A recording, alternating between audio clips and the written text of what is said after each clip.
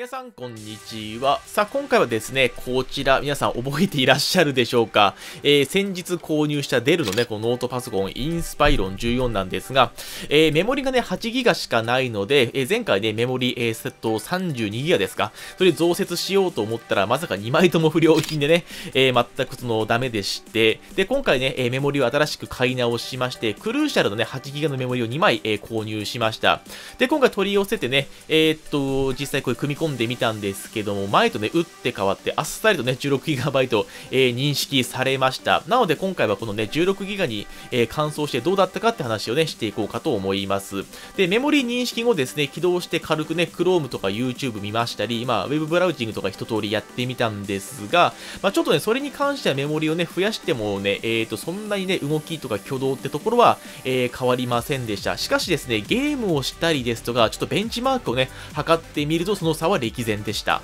まず最初はファンタシースターオンライン2のニュージェネシスで、えー、シングルメモリー 8GB ではスコアはね、368フレームレートも、えー、大体10から15程度とね、とても話にならなかったんですが、えー、16GB デュアルチャンネルではスコアは580まで、えー、上昇して、フレームレートも平均15から25まで、えー、上昇しました。大体そうですね、あの、設定を思いっきり下げれば、まあ、PSO2 くらいだったら遊べる感じだとと思います。これもあくまで、あの特に、えベンチマークで設定せずの状態で、まあ、平均フレームレートが15くらいだったので、30くらいまでだったらなんとかなるかもしれません。で、次なんですが、ファイナルファンタジー14のベンチではさらにね、スコアに顕著に差があり、えー、標準品質のノート PC ですね。それでシングルで 8GB の場合は、えー、スコアは2000程度だったんですが、デュアルチャンネルで 16GB ではスコアは4200以上と、えー、倍以上の差が出ました。まあ、このくらいのね、あのスコアが出るんであれば、大半のゲームであればね、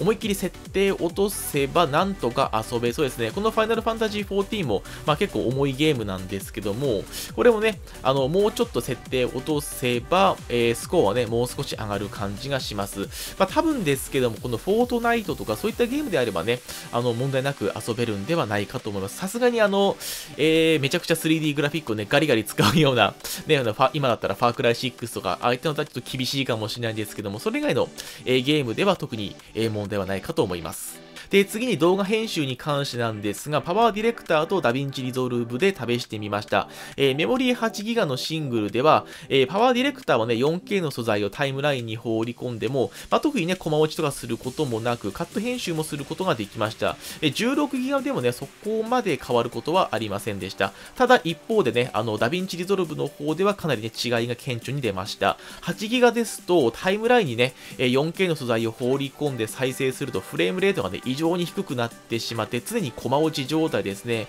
もう、えー、っと、11fps も出ないくらいで、ちょっとね、あのー、今の状態っていうんですかね、そのタイムラインを確認するのもかなり厳しい状態なんですが、まあ、16GB にすることでタイムライン上のね、えー、素材を再生してもほぼ、えー、駒落ちすることはありませんでした。ただし、結構負荷のかかる作業ですね。例えば、今見てもらっているように、カラー設定ですとか、ノイズリダクションとか、そういった、え設定をするとね、一瞬ね、フリーズするくらい、え重かったので、あくまでこのパソコンで DaVinci Resolve で動画編集するときには、4K であれば、まあ、軽い編集、ちょっとカット編集して、まあ、字幕ちょっとつけるとかね、まあ、本当に軽い、えー、カラー調整するだけにしておくのが、えー、良さそうです。さあ、ということでね、このメモリを、えー、交換してみた感想なんですが、もうこのね、えインスパイロン14使う方でしたら、えメモリ 8GB×2 ですか、16GB っていうのは、もうほぼ必須と言ってもいいですね。特にこういった、え 3D グラフィックスですとか、他にもこういった動画編集のね、ソフト立ち上げるときでもね、かなり差が出るので、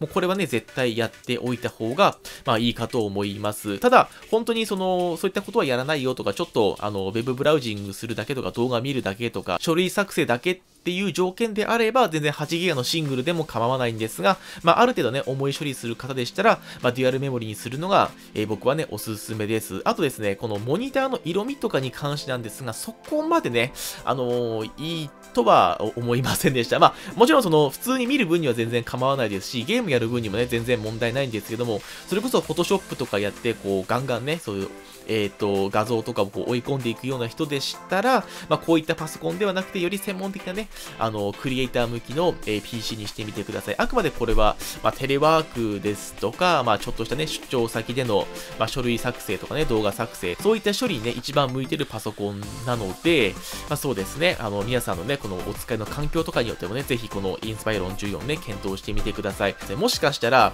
あの、まあ、最近だったらね、iPad ですとか、他にも、えー、っと、Surface ですか、ああいったものがいいと思うんですが、やっぱりこのフルサイズのね、キーボードがあって、こう画面があってっていう、こう昔ながらのラップトップのスタイルの方が、やっぱり僕はね、こう動画編集やるにしても、文章打ち込むにしてもね、えー、やりやすいので、そういった方にはね、すごく、えー、向いてるかと思います。あと、バッテリーの持ちもね、そこまで悪く、えー、なくてですね、本当に、ね、ウェブブラウジングとか動画見るだけならね、え6時間くらいは全然ぶっ続けて持つので、そういった意味でもね、手軽に持ち運ぶパソコンとしては、えすごくね、おすすめなので、ぜひ皆さんもね、え検討してみてください。ここまで見ていただきありがとうございました。この動画がね、皆様も何かの参考になれれば幸いです。で、今後もですね、こんな感じでパソコンソコン関係ですとかね、デジタルガジェットありましたら、えどんどん紹介していきますので、チャンネル登録してくれると嬉しいです。では次回の動画でお会いしましょう。さよなら。